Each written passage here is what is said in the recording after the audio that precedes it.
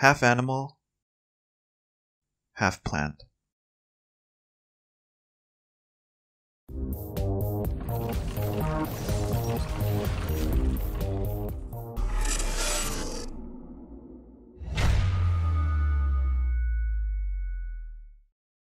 In Japan, researchers have discovered a secretive marine organism, 50% of which cells consume algae like creatures, while the rest perform photosynthesis, a type of plant.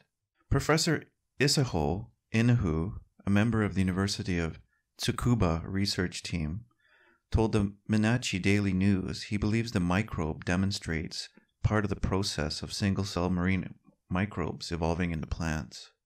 The research team discovered the single cell microbe a kind of flagellate, on the beach in Wakayama Prefecture and called it Hatena, or mystery. The microbe is originally green and is made up of algae.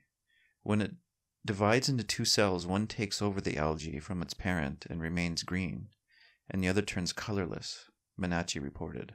The animal type, colorless cell, develops an organ like mouth and uses it to eat algae, while the plant type, Green one uses algae it has in its body to perform photosynthesis and produce energy, according to the team.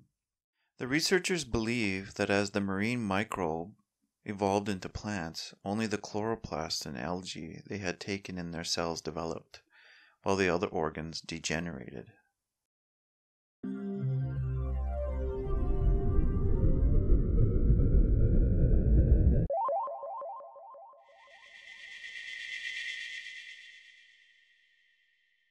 Today's video source was brought to you by spacedaily.com.